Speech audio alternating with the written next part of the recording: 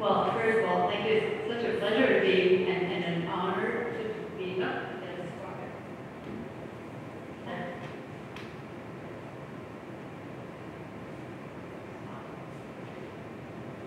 It's a pleasure to be part of this um, fantastic uh, panel. I have to say, I was blown away by the little last talk. I think that was out of left field as well. It's the the best uh, talk on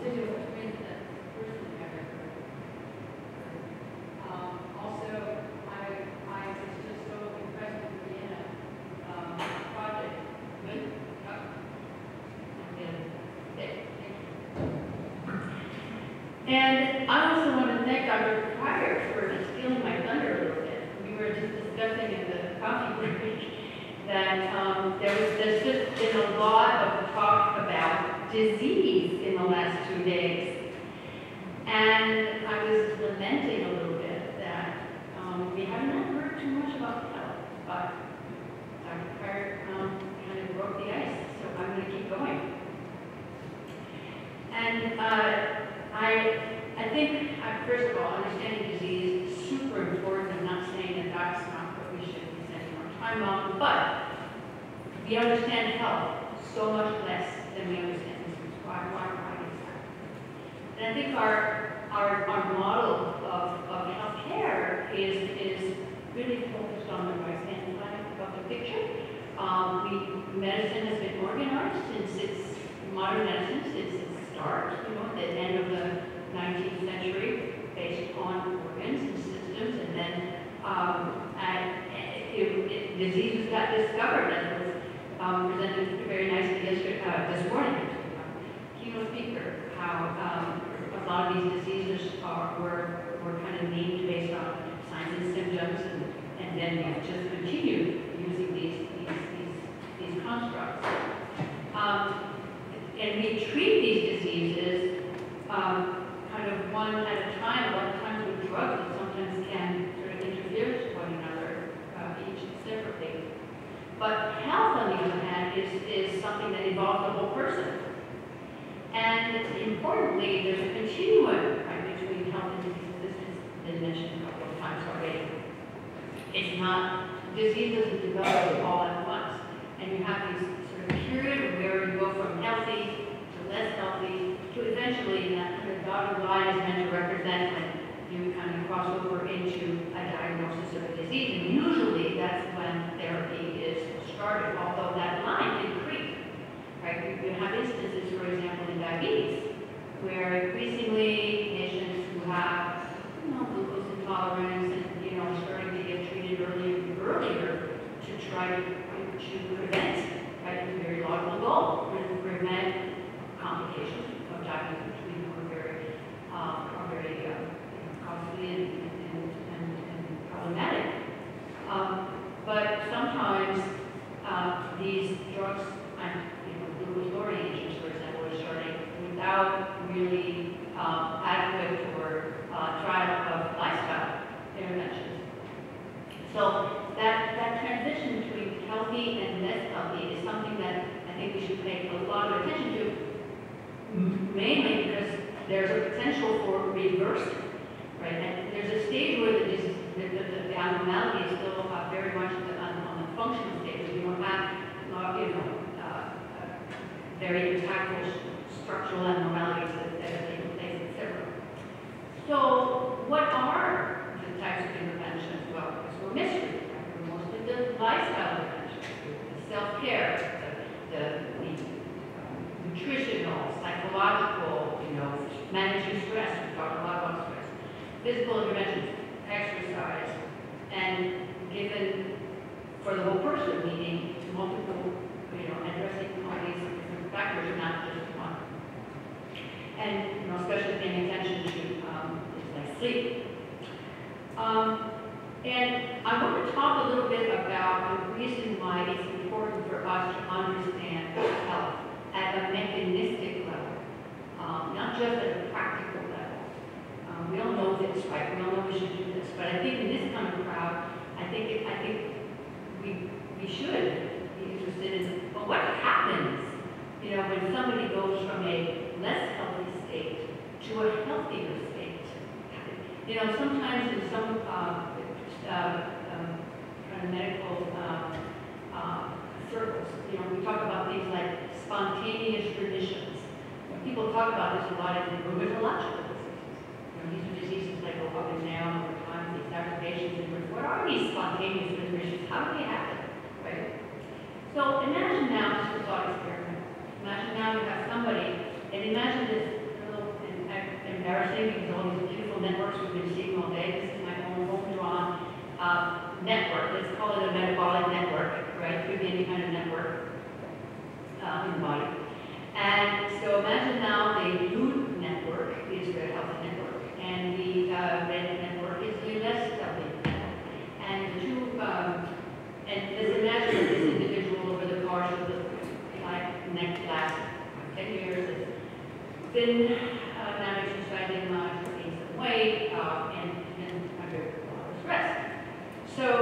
The two uh, black dots are the, let's they are the person's triglycerides or hemoglobin A1C or some marker okay, of metabolic syndrome. Um, then um, what would happen is that uh, a diligent physician would say, hmm, you know, you should lose some weight, you should do this, patient comes back six months later, no weight loss, okay, we're gonna start you on and what happens then, this person comes back, and lo and behold, the uh, triglycerides have improved, wonderful. But if you were able to look at the rest of the metabolic network, you might find that some of these other related uh, kind of, uh, call them parameters or things, right, have further distorted. And but you don't see those because no measure those, right? Only hear about the numbers that measure clinically. So, you know, the person may have developed a little bit of diarrhea or a little bit of some other symptoms, and you call those side effects. All right. But meanwhile, the person's physiology has perhaps uh, not been fully corrected. If anything, it might have, you know, kind of distorted a little further. And sometimes we see um, vasculitis coming down the road, such as, for example, um, the, you're starting to realize now that people who've taken statins uh, for many years sometimes can have worse glucose intolerance. That was not the intended effect. Not everybody gets it, but it's just uh, worrisome. So, this, this kind of problem can get worse if the person gets started on another medication, and another medication, and these effects can compound. And we know that drug uh, interactions and side effects are a major contributor to um, morbidity uh, in, in, in our way of practicing medicine. What if instead the, the person, the doctor, the diligent doctor had said, you know what, you really need to lose weight, you need to do that. I'm going to actually refer you to a health coach, somebody who's actually going to help you to stick with your diet, to have an extended, you're going to have a nutritional consult, we're really going to make sure that you have a physical therapist to make sure that we take care of your knee that hurts you, so that when your knee starts hurting, you're still able to keep, you know, exercising, and we will also help you to, um, you know, about some, uh, we'll, we'll issue a- an app for um, meditation or something to help you sleep so that, you know, you see what works for you or something like that. And then the person comes back six months later and a lot of things have improved and you can see that not only has the biomarker of choice improved, but you had been able to measure other things, they might have improved as well because the person's health has improved as a whole. It's not just correcting one uh, chemical abnormality. This is all hypothetical, but eventually, isn't this where we want to go? Right? This, this is kind of where what we would like to do. It would be really nice to be able to measure what's going on and convince ourselves that this is the bang is worth the buck. These, these uh, interventions, by the way, the health coaching, therapy, these are not. These are expensive.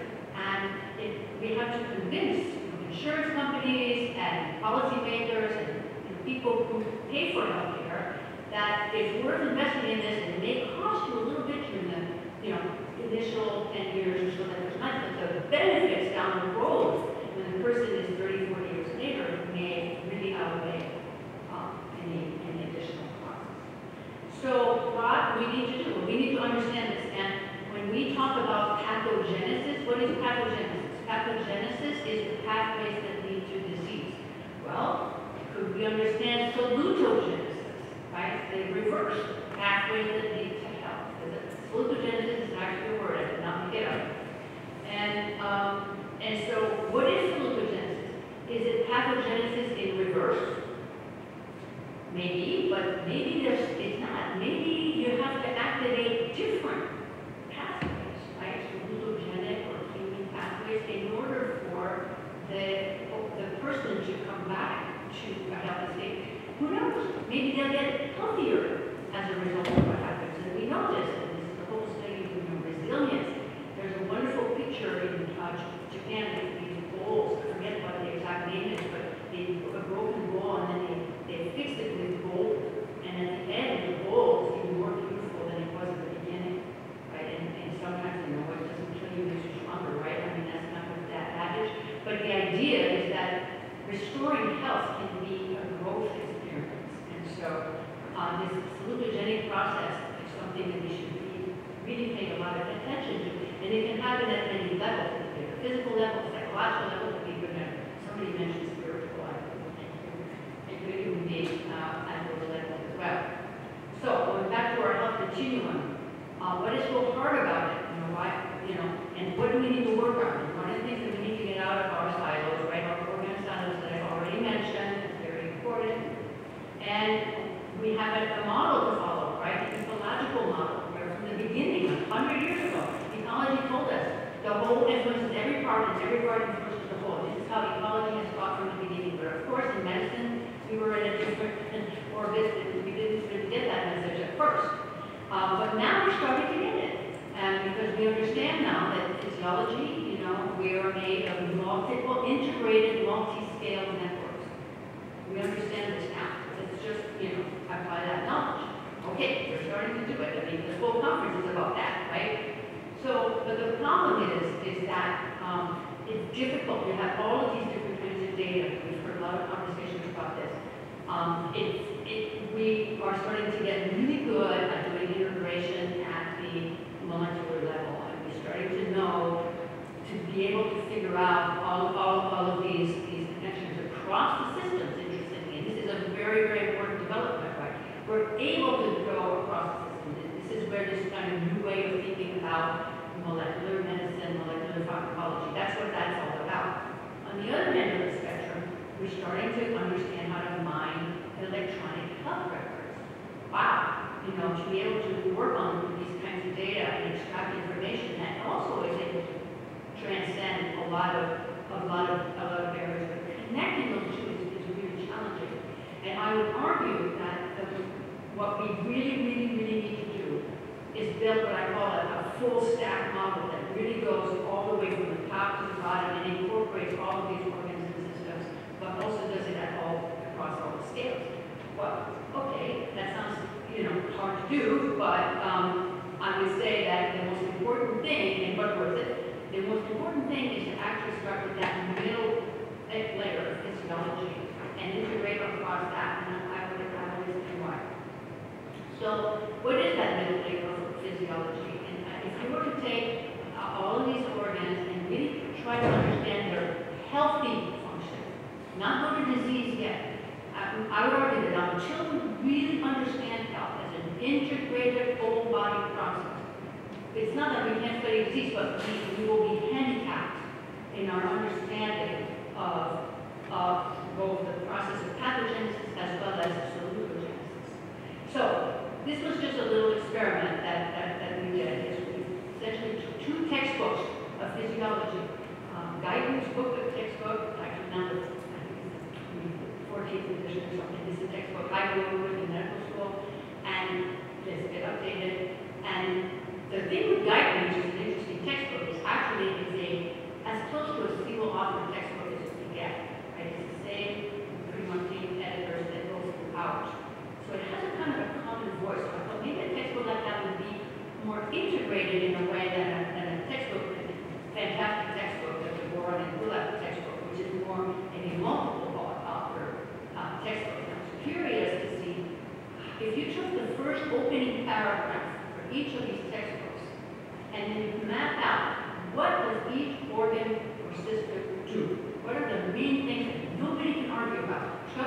known for you know, 50 or 100 years. And that goes out, and we a network map with that. What would it look like? So um, we did that, and this map that I'm showing is in binary ways of this is just an exercise, right? But what it shows is that, well, first of all, you can do this. Secondly, to my surprise, and actually spoke to uh, the author of, of, one of these digital psychologies.